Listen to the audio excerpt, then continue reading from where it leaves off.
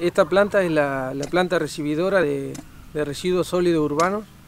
Acá va a venir todo lo que la recolección de residuos va, eh, se va a clasificar en este lugar.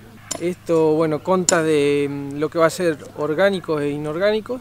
Después se va a acordar los días para, para recibir cierta, cierta basura.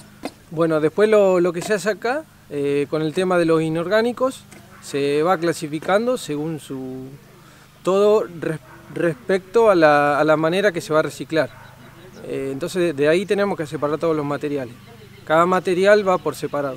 Eh, tenemos el aluminio, lo que es acero, tetrabric, eh, botellas de plástico, van por color. bueno, y también vamos a recibir todo lo que es orgánico, lo que sería todo el resto de comidas, por ejemplo. Y eso que también se va a copiar acá en unas camas de, para crear compostaje. Y bueno, y ahí vamos a ir clasificando todo. Acá se, separa todo, se clasifica. O sea, en este lugar no se recicla, sino se clasifica para luego llevar a la industria del reciclado. Sí, sí, acá se enfarda todo. Eh, tenemos dos enfardadoras, eh, una más pequeña, otro de otro tamaño, pero así, se enfarda todo. ¿Cuántas personas eh, trabajan o van a trabajar en, esta, en esta planta? Y de promedio entre 8 y 10 personas podrán trabajar, porque también tenemos una chipeadora que esa va de la mano de, la poda urbana que se hace, entonces se, pica toda la rama. una chipeadora donde se introduce todo lo que es la poda, se va introduciendo todo lo que es el ramaje verde y después se produce tipo una serrín, tipo un chip, así.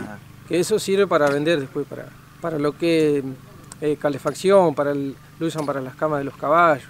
Una cosa muy importante, ¿qué le podemos pedir nosotros a la, sociedad que, que puede ir haciendo desde sus casas? Bueno, el punto principal para que esta planta funcione correctamente es la separación en origen, o sea, en, cada domicilio. Si ahí se hace correctamente, la planta va a funcionar correctamente, eh, separando bien lo que es orgánico e inorgánico. Todo depende de, cada casa cómo separemos. Porque si nosotros recibimos el papel o el cartón húmedo, mojado, sucio o contaminado, ya no, ya no sirve, ya deja de ser para reciclar.